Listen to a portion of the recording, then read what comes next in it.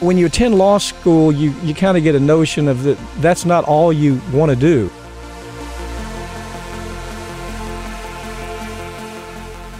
There's other things you want to do to kind of round out your life, and when you come out, you end up going to the office and you know drinking out of the same coffee cup every day and not much changes and it's a very dangerous thing especially when you're in a in a, a, profession that requires that you have to think in terms of different ideas different cultures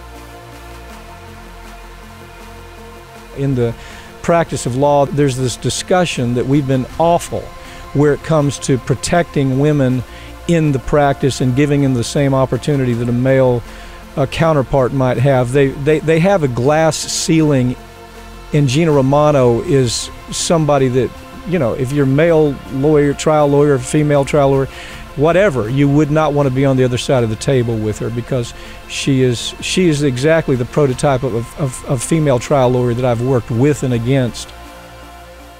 To go to the office and say, well, this is all I do, I think actually detracts from your ability to think as a creative attorney. And so I started writing very early. I started off with uh, with motivational books for lawyers. The first one was In Search of Atticus Finch, and that evolved into uh, Resurrecting Aesop, maybe you didn't know that the Department of Justice is so eh, that they're so dysfunctional, or the FDA has been captured by by corporate America, or the SEC is simply an extension of Wall Street.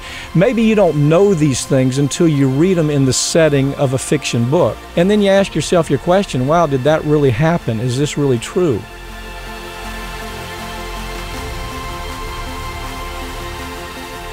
There is going to be no glass ceiling, and if there is, I'm going to bust right through it.